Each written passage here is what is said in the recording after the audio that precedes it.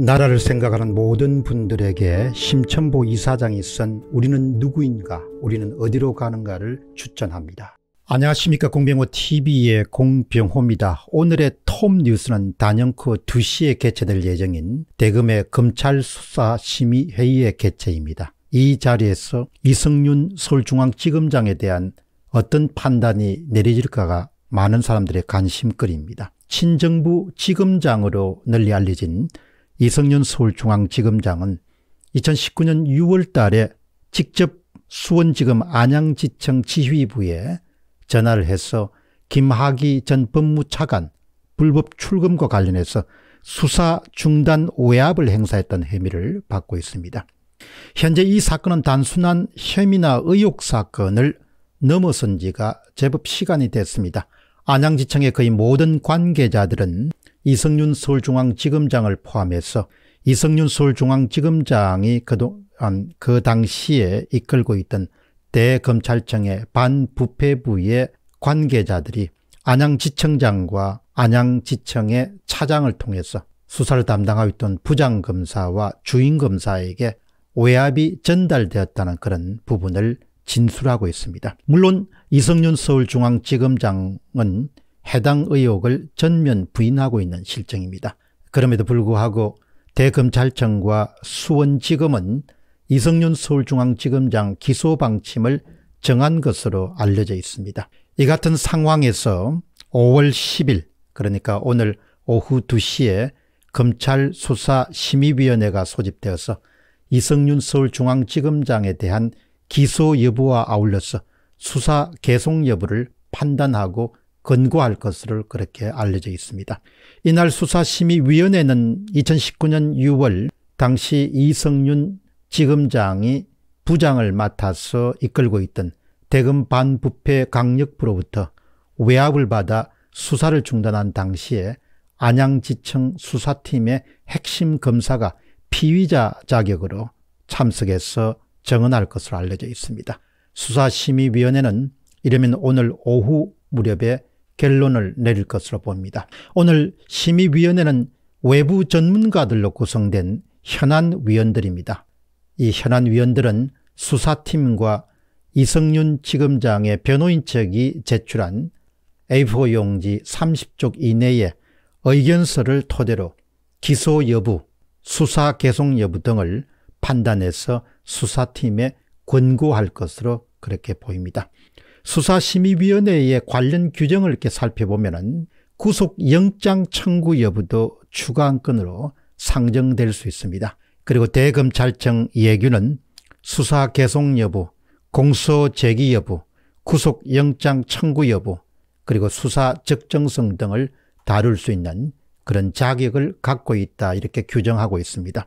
여기서 정말 중요한 사실은 수사심의위원회의 판단과 의견은 근거사항일 뿐이고 강제력은 전혀 없습니다. 따라 수사심의위원회의 판단과 권고는 참고 상황일 것입니다. 다만 수사심의위원회의 그런 근거가 수사팀이 기소를 추진하는 경우에 힘을 다하는 그런 하나의 제안이 될 것이다 이렇게 봅니다. 그러나 이성윤 서울중앙지검장은 문재인 정권에게는 아주 특별한 그런 인물인 것이 사실입니다. 그리고 문정부의 입장에서 보면은 기여도가 상당히 높은 그런 지검장이다 이렇게 판단할 수 있습니다. 헌신적으로 그동안 문정권을 향한 검찰의 권력 비리와 관련된 사건들을 막는 데 상당히 노력해온 인물이고 더욱이 문재인 대통령과는 학연뿐만 아니라 오랜 인연을 가진 그런 인물로 널리 알려져 있습니다. 이성윤 서울중앙지검장의 수사심의위원회의 기소 근거나 수사팀의 기소와 함께 포기하는 것은 바로 문재인 정부의 임기 말 권력 누수를 촉진하는 하나의 기폭제가 될 가능성이 있습니다. 따라서 어떤 방법으로든지 간에 아마 이성윤 서울중앙지검장을 보호하는 그런 조치를 문정부가 취하게 될 것이다. 이렇게 많은 사람들이 예상하고 있습니다. 집권 세력은 이성윤 서울중앙지검장에 대한 기소 여부와 일체 관계없이 마치 김일병 구하기처럼 이승윤 구하기에 적극적인 조치를 취하지 않겠느냐 그렇게 예상이 됩니다. 마치 세상 사람들이나 또 문정부에 대해서 그렇게 호감을 갖고 있지 않는 그런 사람들이 마치 지켜보라는 뜻이 서울중앙지검장으로 유임시키거나 아니면 오히려 여기서 한 걸음 더 나아가서 성진 그러니까 대검찰청의 차장검사 등으로 승진하는 조치를 취할 가능성이 높을 것으로 봅니다. 여기서는 이성윤 서울중앙지검장을 보호한 측면도 있지만 이성윤 서울중앙지검장처럼 임기 말기에 문정부와 관련된 사안들을 적극적으로 챙기고 보호하고 보완 조치를 취할 수 있는 그런 인물을 만나기는 쉽지가 않기 때문입니다. 따라서 앞으로 어떤 결정이 수사심의에서 내려질지 그리고 수사팀이 기소를 언제 정도 행할지 그리고 이것에 대응해서 문정부가 어떤 조치를 취할지 이 모든 것이 확실한 것은 없습니다만은 그러나 그동안의 모든 정부들을 다 종합할 때 보호하는 조치를 분명히 취하게 될 것이다. 그런 가능성에 저는 손을 들어주는 그런 입장입니다. 그러니까 세상 사람들에게 그리고 또 문정부를 위해서 힘껏 노력해온 그런 사람들에게 확실한 그런 일종의 예고, 시그널을 발신하는 그런 메시지가 나올 것으로 봅니다. 우리에게 충성하는 사람들은 어느 누구도 손을 댈 수가 없다. 우리가 마지막까지 확실히 보장할 것이다. 이와 같은 그런 시그널들이 계속해서 앞으로 나오지 않겠느냐 그렇게 봅니다. 충성하라.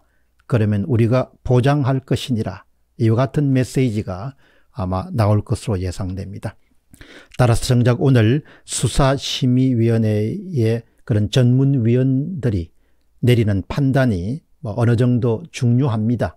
그것은 많은 사람들이 이성윤 서울중앙지검장의 외압 사건과 관련된 그런 기소 여부가 사실 검찰 내부가 아니라 외부 전문가들의 시선으로 보면 그것이 과연 정당한가 이런 부분을 판단할 수 있는 그런 어, 부분을 제공합니다. 그럼에도 불구하고 아마 확률이 높은 것은 문정부가 결코 이성윤 서울주검증장 같은 그렇게 충직한 사람들을 결코 포기하지 않을 것이다.